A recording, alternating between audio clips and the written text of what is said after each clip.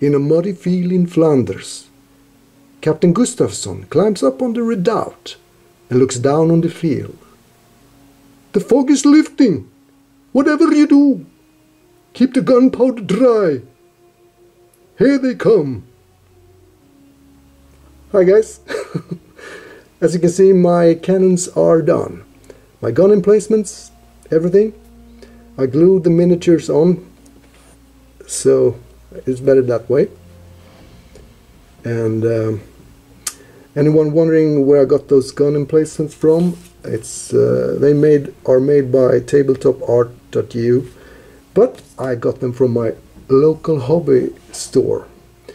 You know, always support your local hobby store if you like your hobby store, especially during these times. The year of the plague. Well, let's see here. Uh, I've done. This is a Demi-Culverin cannon, and this is a Saker cannon. Uh, heavy artillery, medium artillery, whatever they do the damage. Uh, well, let's take a look at the gabions. Uh, I use contrast paints on the wood, but I might fix them later on, but they will do now. Just like that. And another one. That's the Second one. They're in resin, by the way, if anyone wonder. See, uh, everything is in resin.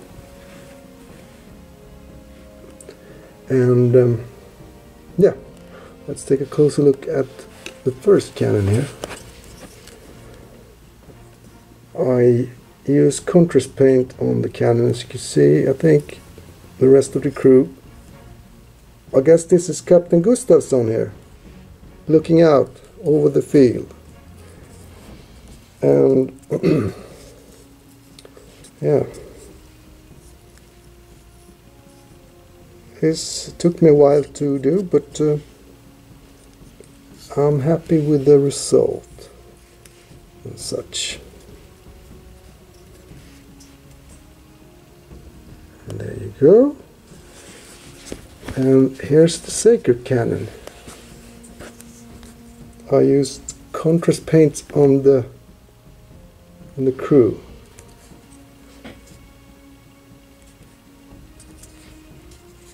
I think did I use contrast paint on the entire crew guess I did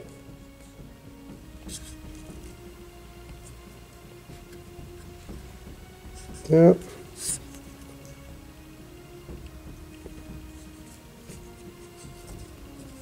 And this must be Sergeant. Sergeant Leif. Screaming at Captain Gustafsson. It's time to fire the cannons. Sorry, get carried away here. yeah, well, uh, just want to show what I've been doing this week, and I have much more uh, coming up. So, uh, hope everybody uh, enjoyed this. And, uh, well, Christmas is coming. And with that, a muddy field in Flanders.